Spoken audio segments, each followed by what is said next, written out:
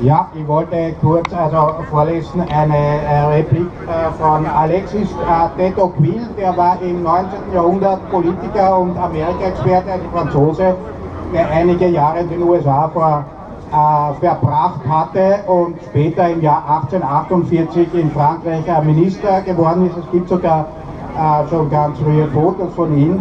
Und der hat also den Zustand der amerikanischen Demokratie schon im 19. Jahrhundert, also Mitte des 19. Jahrhunderts, beschrieben nach dem System Teile und Herrsche und also eine unfassbare, äh, praktisch gewalttätige Manipulation. Das spricht schon Bände, wenn das damals schon so schlimm war. Ich werde jetzt eine Replik vorlesen, die sehr typisch ist aus seinem Werk.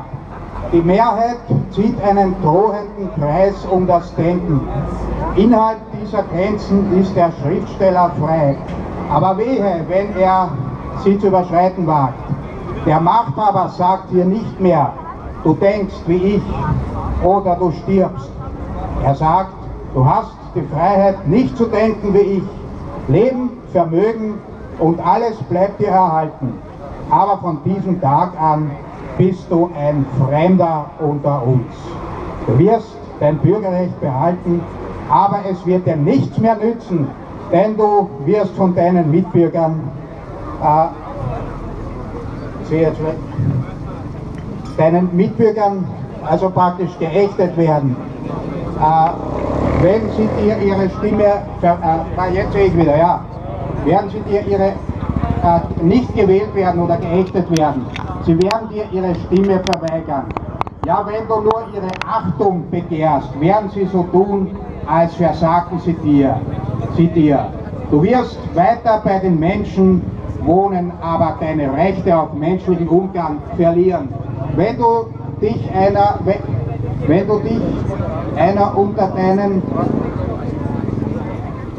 wenn du dich einen unter deinen na, wir haben. Na, Alexis, das, das, das Tätowild kennt nicht jeder. Absolut nicht, nicht? hat mir jetzt jemand gesagt. Nein. Äh, deinen äh, äh, gleichen Nähern äh, wirst zu werden sind, äh, dir deiner fliehen und dich als Aussätzigen behandeln. Und äh, selbst wer, andere, äh, wer an deine Unschuld glaubt, wird dich verlassen, sonst meidet man auch ihn oder auch ihn. Also weil er an dich glaubt oder dich versteht. Ja? Gehe hin in Frieden, ich lasse dir das Leben, aber es wird schlimmer sein als der Tod. Alexis de Tocqueville, man sollte vielleicht äh, sein Werk über Amerika äh, auch lesen, ist heute sehr, sehr entscheidend. Ja. Dann, möchte ich noch auf das, was anfangs äh, äh heute hingewiesen worden ist, äh, eingehen, nämlich dass äh, wir hier zu sehr isoliert sind, obwohl die Montagsdemonstrationen also in vielen, vielen Städten stattfinden, auch außerhalb Deutschlands, äh, eben auch hier, äh, äh, dennoch droht also Isolation. Man hat uns diesen Platz gegeben vor dem Parlament. Sicher, es ist ein zentraler Platz und doch versucht man ein Ghetto zu installieren. Keine oder diskriminierende und stigmatisierende Berichterstattung der offiziellen Leitmedien. Wir müssen mehr werden, viel mehr. Darum schlage ich vor, in die Institutionen hineinzugehen. Universitäten, Pressehäuser als Beispiel. Die Leute direkt und frontal ansprechen. Man erntet Unterschiedliches, das ist es wert. Dabei lernt man aber auch. Und das ist gut. Ja, also als Beispiel zum Beispiel, wie ich das äh, immer wieder auch mache in den U-Bahnen, besonders in diesen besonders langen U-Bahnen, wenn man dort seine Stimme erhebt, ist das sehr ungewöhnlich äh, für die Leute. Also sie kennen ja nichts anderes, als dass vielleicht ein Betrunkener komisch wird oder irgendwelche Stänkereien. Aber wenn jemand wirklich ganz äh, gezieltes, äh, Wahres, auch nach, äh, erkennbar Wahres sagt, ja, also üblich vom Gesu äh, ab, sich abhebend vom Gesuderrecht, das ja üblich ist, dann äh, hören die Leute auf, hören, merken die Leute auf äh, und äh, man kann auch natürlich Ablehnung erfahren, aber äh, sehr viel Zustimmung mittlerweile, weil wenn auch die meisten Menschen sich nicht wagen oder, oder sich zu ohnmächtig fühlen, also um äh, ihre Stimme zu erheben oder an die Öffentlichkeit zu gehen, wie, wie hier zum Beispiel, so ist dennoch, äh, äh, so ist dennoch ein, ein massives Grummeln da und ich bin jemand, der sicher nicht also das übliche Gesudere äh, bevorzugt, sondern doch mit einer gewissen Wucht auch hinausgeht und den Leuten Dinge sagt, also von wo er weiß, dass sie wahr sind und die unge in ungeheuerlicher Weise also praktisch unterbuttert oder, oder einfach ignoriert werden. Zusammenhänge in der Politik, Wirtschaft, die unfassbar sind, wie also der Vorredner, der eine eine leider Gottes nicht, äh, bis lange Zeit nicht bekannte Kennedy-Rede, äh, hallo, hört man mich, äh, vorgelesen hat jetzt, äh, genau diese Rede, die mein Vorredner äh, jetzt gesagt hat, äh, die wollte ich auch schon im Juli ansprechen. Das finde ich sehr, sehr klug und wichtig.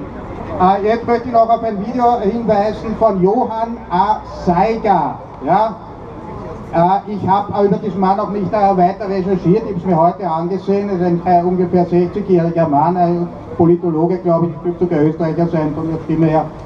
Ja, also der äh, spricht sehr profund und ähm, also vor allem was die, äh, die, die, die, der drohende dritte Weltkrieg, äh, was den drohenden dritten Weltkrieg bedeutet, und da sind wir ja praktisch mittendrin, äh, denn es äh, fängt immer mit Wirtschaftssanktionen und, und sehr grausamen diplomatischen Geplänkel an. Und da sind wir ganz massiv drin. Und wenn ich jetzt die, den Kurier aufschlage, die letzten Monate oder die Presse oder viele andere sogenannte Leitmedien, die uns ja wie die Armen leiten, leider Gottes in den Abgrund, ja, also die Propaganda ist erschütternd und die Einseitigkeit, es werden immer sogenannte Experten genommen, verwendet, die in massiver Einseitigkeit berichten. Das kann es nicht sein. Ja? Und äh, darum äh, mache ich äh, dieses Video von Johann Aseiger, also das ist eines natürlich von vielen, die man sich im Internet ansehen kann, wo also doch verdecktes, unterdrücktes, also sehr gut recherchiert von verbunden Leuten erzählt wird. Und äh, wir müssen, der sagt eben auch, wir müssen, also praktisch, wir sollen äh, oder müssen eigentlich in die Institutionen hineingehen und nicht uns äh, isolieren lassen, zum Beispiel auf, vor diesem Platz, vor dem Parlament. Denn es droht eine Isolation äh, und dem äh, müssen wir entgegentreten.